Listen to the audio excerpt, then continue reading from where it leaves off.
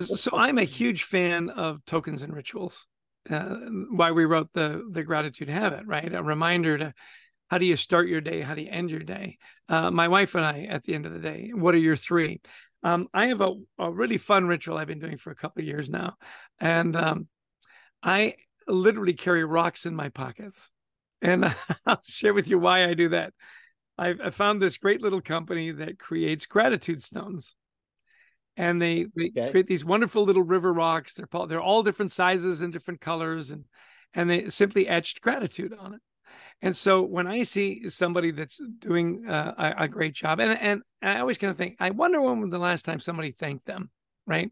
Uh, the crossing guards for the schools that are near us. You know, I'll go out for my morning walks and I'll stop and say, listen, by the way, thank you so much for keeping our kids safe. I, I so appreciate it. I have a small gift for you it's a little gratitude stone. And, and just a reminder to let you know how much we're grateful for what it is that you do. And and i love that it's a stone because every stone is a little different and it's a little flawed you know just like we are. And yet when you toss mm. a stone into a pond it causes the water to ripple. And, and that's the power of gratitude gratitude ripples. So i said i hope this brings you good luck. And that every time you see it you'll be reminded of how much we appreciate the work you do. Well well that takes what like a minute to to to say that. You would think that I had given that crossing guard a Fabergé egg, right? um, you know, um, I, I go to hockey games all the time down here in Newark. I'm a big New Jersey Devils fan. And the police officers that that do it, and and you know, it's bad weather and whatever. And I say, you know, can I steal you for just 30 seconds. I want to just give you this little token to tell you, my gosh. And my wife is so funny because we'll go out to dinner and we'll have a really engaged cute, you know, waiter or waitress.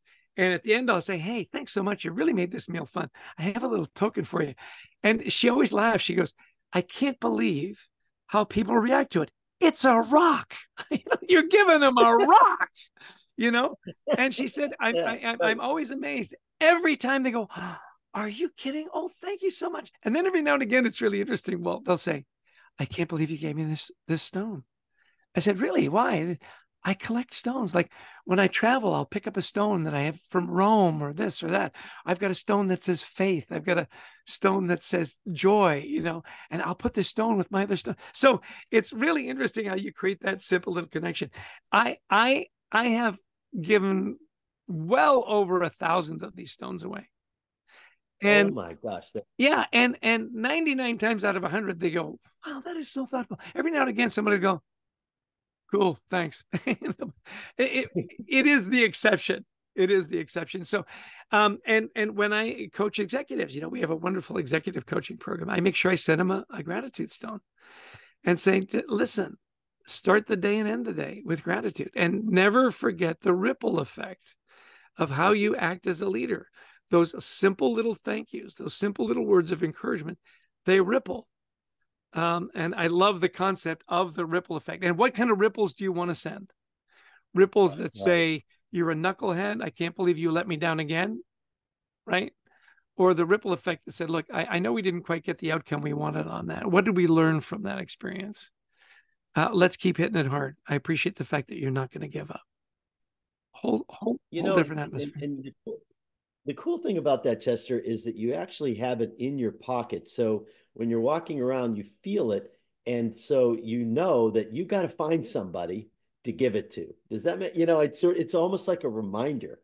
Um, yeah. I, I'm, I'm sort of a big believer on the little things. I, I, really do believe that the little things can make a difference in people's lives. Um, the little things from a gratitude perspective. And you've just hit on one that I think is really, really great.